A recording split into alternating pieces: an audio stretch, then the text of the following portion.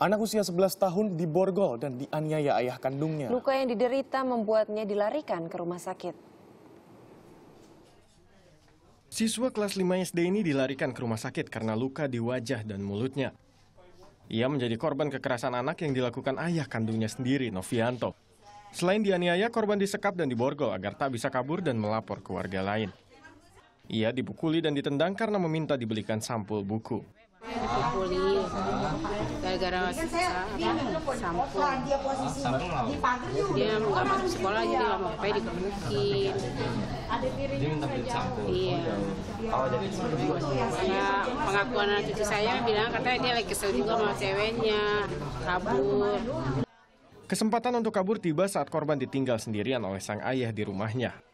Dalam keadaan tangan terborgol, korban keluar dari rumah dan melompat pagar sambil berteriak minta tolong. Sejumlah warga mendengar teriakannya dan menolongnya. gitu pak.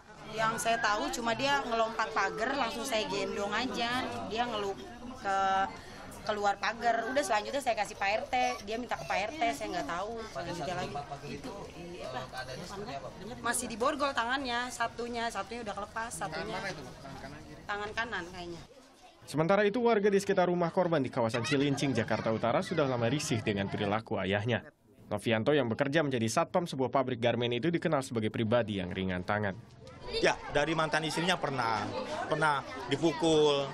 Dan soal anak, anak kejadiannya sih saya baru tahu ini sekarang. Mungkin kejadian sebelumnya sih mungkin seringnya dari istrinya sendiri aja sering melakukan begitu, pukul, terus sampai ada perceraian itu.